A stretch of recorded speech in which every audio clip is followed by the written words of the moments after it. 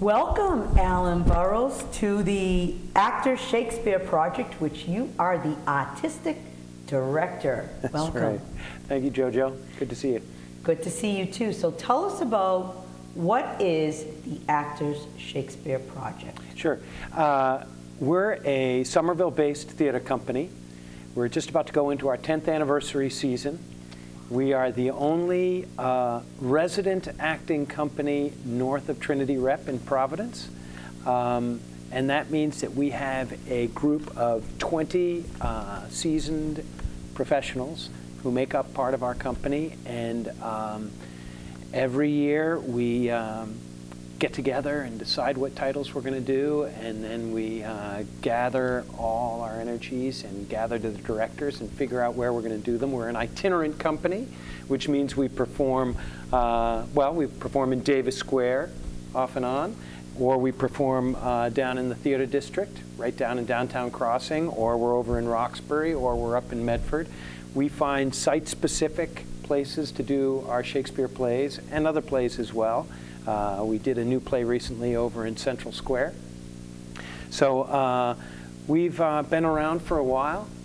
All of our actors are local actors who have either been to New York and are back or else grew up in this community and have uh, made their, uh, their lives and their careers in the Boston area. And uh, they're either teachers or um, professionals or uh, a number of other things, but they're all very creative people, and that's who uh, makes up the Actor Shakespeare Project. When did the Actor Shakespeare Project begin?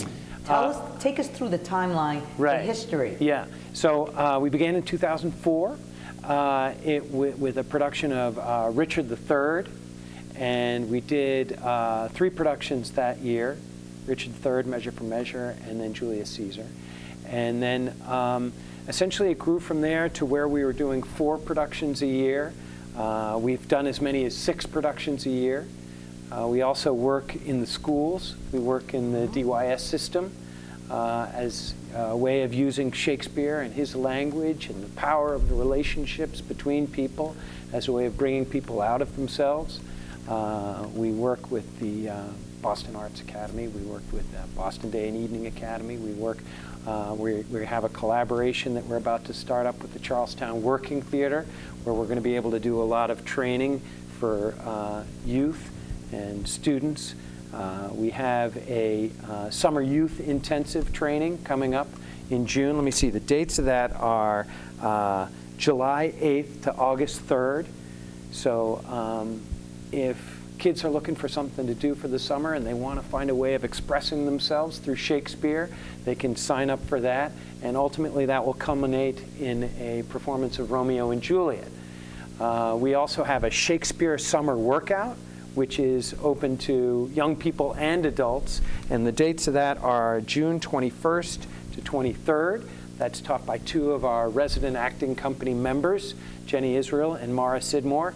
And that's going to be taking place in our new rehearsal studio in the Somerville Armory on the second floor. That's where our offices are. So we're just creating this fantastic new rehearsal space over there where people can come and find out what it's like to experience working on Shakespeare, uh, to find what those words are like, to find out what it feels like to be in that type of interaction with another individual. So This is exciting. I have so many questions to ask you about what you ahead. just said. But now Yeah. we're going to look at a clip that you did in May. Right, yeah, we just closed it. You yeah. just closed it, and let's check that out. It's uh, it's Pericles, That's correct, right, yeah. from Shakespeare. Right. So let's let's check that out. Okay, great. Now the good gods throw their best eyes upon it.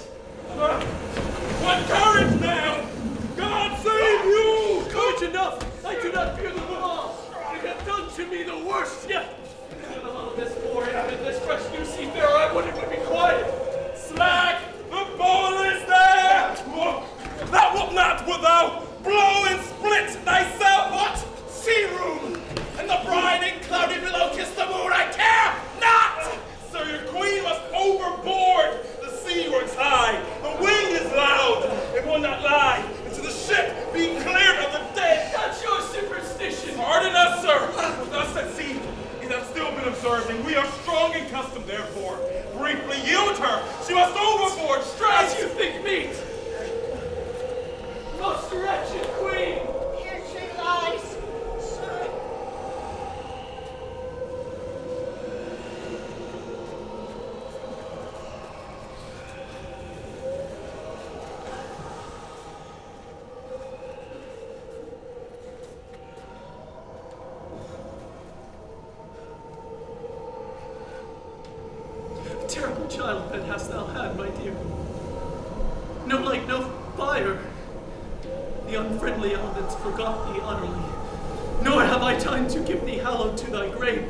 Must cast thee scarcely coffined in the ooze.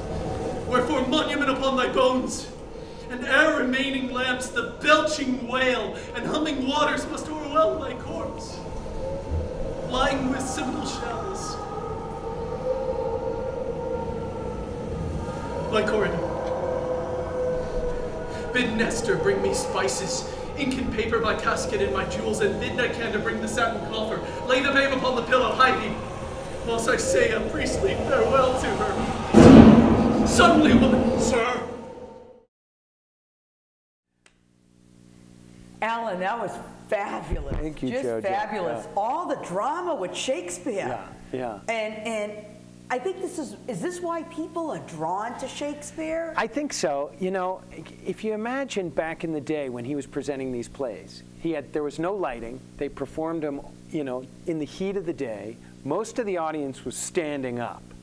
They would go on, you know, for about four hours. We cut them down now so that you know, modern day attention spans are a little shorter. they have more, you know, they got places to go.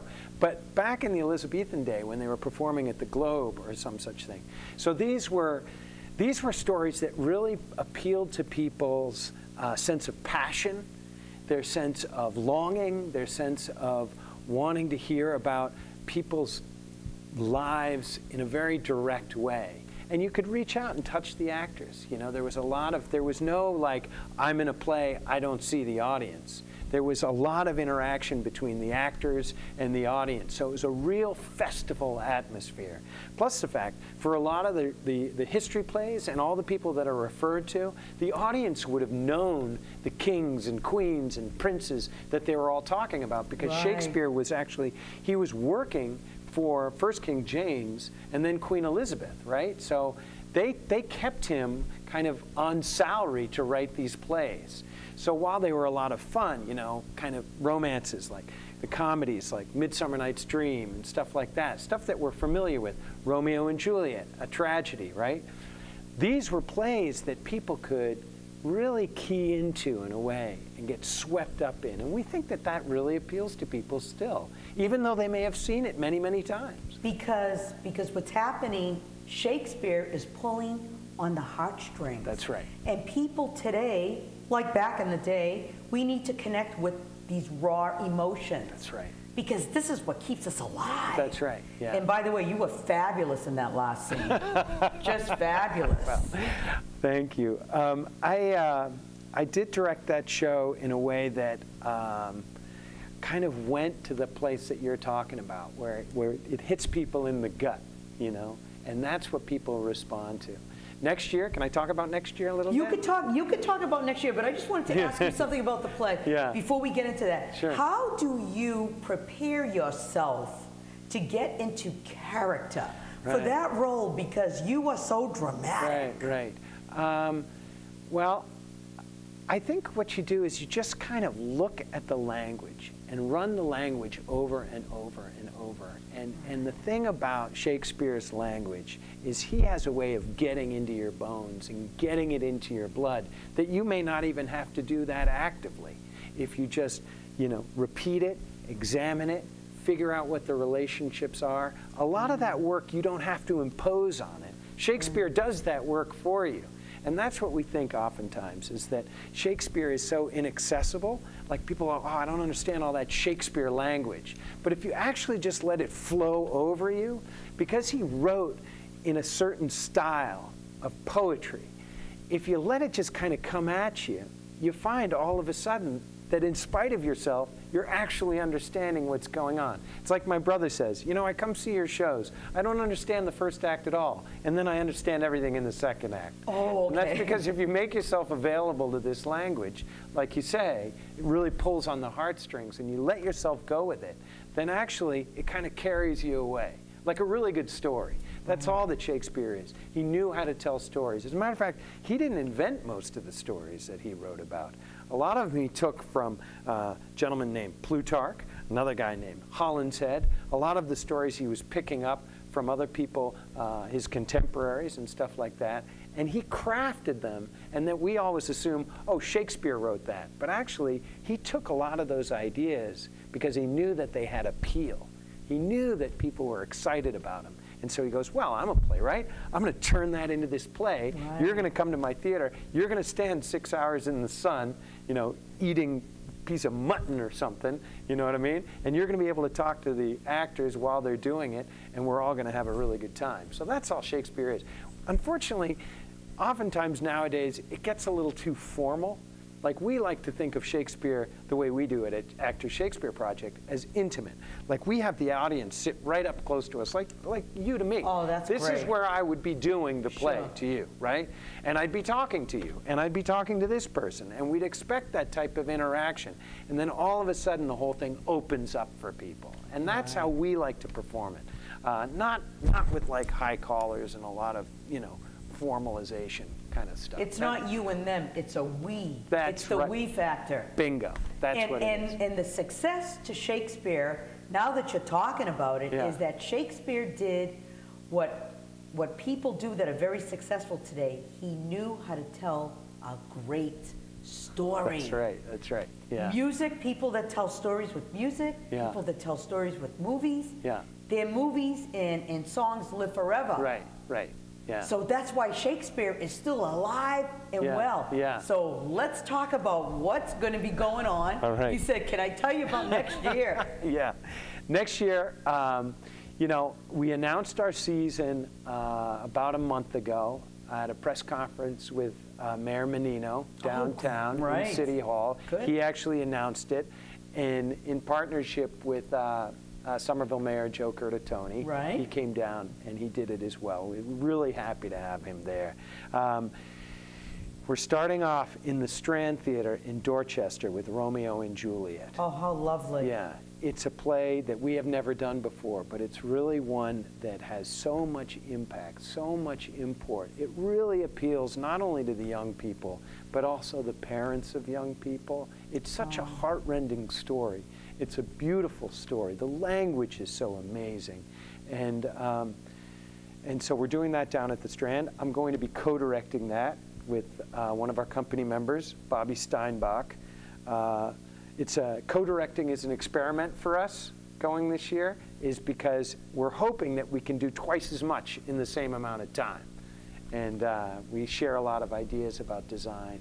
We're really excited to be at the Strand. Strand's a beautiful old, you know, classic theater, and that's kind of an underserved mm, part of Boston, really, Upham's Corner. So we want to be part of the renaissance of uh, that area. Then we're going to move into an historical play, Henry VIII. Now, oh, my goodness. yeah, how how yeah. many wives did Henry VIII have? He had eight. How did he do it? I don't know. Well, he offed some of them. Oh, Mainly, he- yeah. he- did he cut their heads off? Yeah, he cut their heads Why? off. Well, because he didn't. Some of them didn't give him a male heir, and it was very Oh. important to him. That's His awful. father, Henry VII, said, "Do one thing: make sure you carry on the line." right. So that play is going to be directed by um, uh, Shakespeare luminary uh, Tina Packer, who uh, founded Shakespeare and Company in the western part of the state. She's directed for us before, uh, and that's going to be at the Modern Theater right down in the theater district. And that uh, Romeo and Juliet opens on October 5th, runs till November 5th. Then we open Henry VIII on December 14th. That runs till January 6th at the Modern Theater. It's a beautiful old restored theater uh, at Suffolk University. Uh, it's where the first talkie film was shown, actually. The What is a Theater. talkie film? The first uh, movie, You- the oh, first oh, movie oh, with movie. sound. Oh, first movie with sound? I never heard of it. Yeah, they did the jazz singer there. Talkie film. Yeah, Okay. first talkie. And uh, then we're going to do uh, something a little different. We're going to do a uh, Chekhov play called The Cherry Orchard, directed by Melia Bensussen.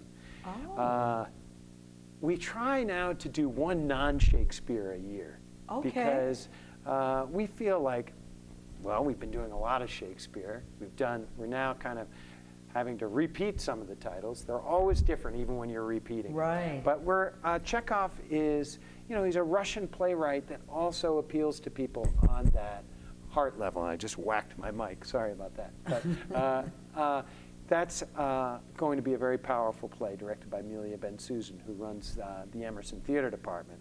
And then uh, one of our company members, uh, Robert Walsh, is going to direct As You Like It in the spring. And that's, uh, ah, that's just a very, very fun pastoral comedy. It's one of Shakespeare's really popular plays. There are going to be a lot of company members in that. Uh, we haven't determined what the venue is going to be for that yet, but uh, we'd like it to be uh, really accessible to people because that's what we like to do is make sure that people can get to our plays by public transportation easily and uh, we like to think about people's parking we like it to make Beautiful. it easier for people to get out and see our shows it's really important for us So all the people, your, your actors, are they, you said they're professional. Mm. Is this what they do day in and day out? yep And, and they get paid Yeah. through your company? yeah we have all you we're uh, uh, by SAG? professional, yeah, we're SAG actors, we're equity actors. Uh, it means that, uh, you know, uh, that's where a lot of them get their health insurance from, from the amount of work, you know. Um, it's, uh, it's something that people work really hard at. A lot of them are teachers as well. A lot of them have other jobs as well. But uh, yeah, they're all professionals. This is what they've chosen to do, and they're keeping at it. And when do you cast? When can people try out to be? Oh, uh, if- In your company? Oh, How do- How do they yeah. do this? Where do they go? Well, there's a there's an organization called Stage Source, uh, which is kind of a place where actors can go. They sign up for auditions, and they can audition for all the theater companies in town.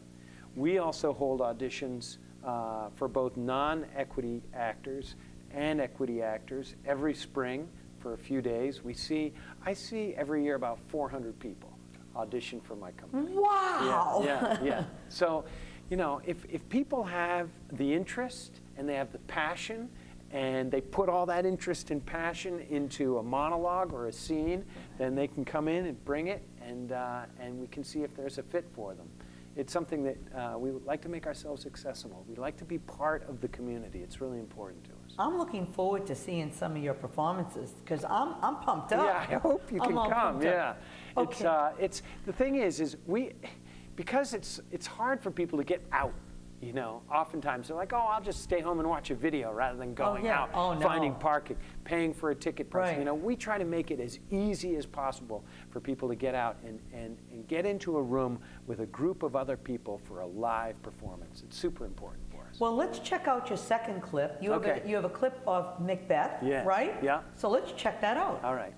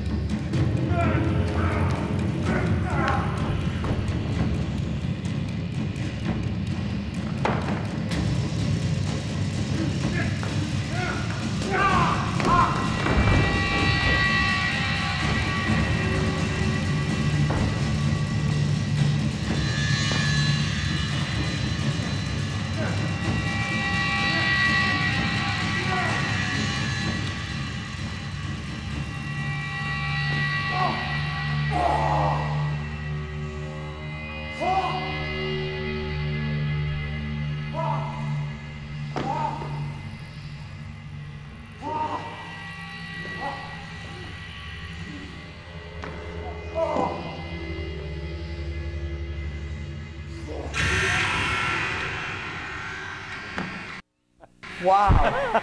All the drama. I guess you're, you just went down. Yeah, I went down hard. Yeah, yeah. Uh, Do you do a lot of scenes to practice that, that fight scene? That fight scene, yeah, you got to build it move by move. So that is, and that's a lot of, you know, going through, making sure what works. We have a violence designer. Ted Hewlett was the guy who uh, designed the violence in that. And uh, you got to make sure that you're safe, but you got to sell it as well. It has to look, uh, has to look real. It can't look like we're just out there, you know, mamby-pambying around. So, Right. And Your anniversary's coming up. yes. 10th anniversary. 10th Tell us anniversary about of the company, yeah. Yes. Well, it's a huge event for us. Uh, we just feel so grateful to the city of Somerville and uh, the city of Boston and for all of our audiences for coming out year after year and supporting us. And uh, we're really excited about next year. It's, um, it's going to be a banner year for us. And we're also doing uh, another project throughout the year, which is called What's in a Name, which is a community-based project that we'll want to invite people to go to our website at. They can check out our website. I guess you guys show it at the end of the program. Well, you could tell us what it is too. ActorsShakespeareProject.org. Actors? ActorsShakespeareProject.org. And one of the other pro programs that we're doing is called What's in a Name? You know, Juliet asks, uh, What's in a name? And uh, basically, it's about people's individual stories in the community. They bring in, they talk about their name, who their parents were, how it relates to Shakespeare, and that we're going to actually uh, have culminate on the stage where we're doing Romeo and Juliet. So we want people to be invited to go uh, to our website and check out uh, that program because it's going to be it's going to be interesting on how Shakespeare and our company and the community kind of all folds together. I really love this. What a great Yeah, idea. Yeah. yeah. And and how do you have a program for teenagers? Yeah. And tell us about that and Right. how kids can become involved. Yeah. And, and if they're a little bit shy and a- apprehensive, Yeah. what can they do to prep themselves beforehand? And Right. how do you make it easy for them to just say, Right. I want to be a part of that? That's right. Well, that they can check out our summer youth intensive this summer.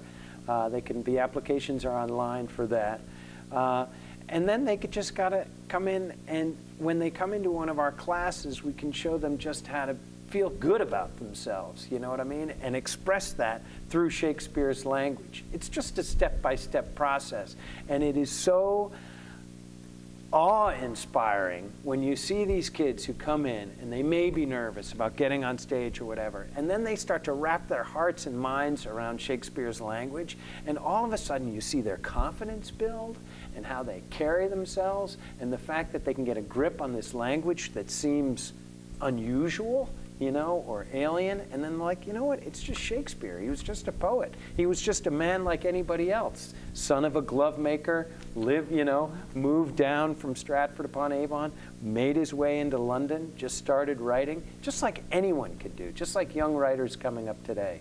And, uh, and when people realize that this stuff is all very accessible, then they, they realize that it's, it's something that they want to invest in mentally and emotionally. And that's what we want to support for people, especially young people, because, you know, in this day and age, you know, kids are so bombarded with so much stuff.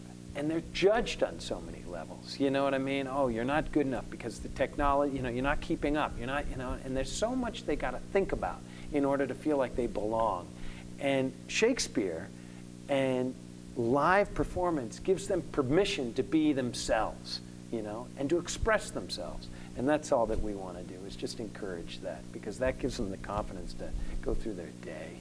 Is there like a criteria for kids to be part of this group? I mean, how many kids are you bringing into the into your You know. I, I think there are about 20, 20 kids in the summer youth intensive, and then we also go into the schools. We teach programs in the schools throughout the year, and uh, we work in you know different colleges. We run workshops, and now that we have this rehearsal studio, now we're going to be able to expand on that as well. Beautiful. we're really looking forward to that.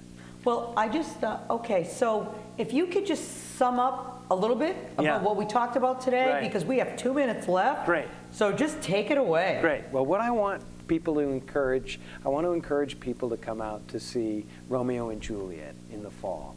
Uh, I then want them to come see what Henry VIII is about, and then the Cherry Orchard, and then As You Like It in the spring. Because we just want to make it easy for people to come out and enjoy this language and enjoy each other in a room with this whole kind of fired up performance thing that we do.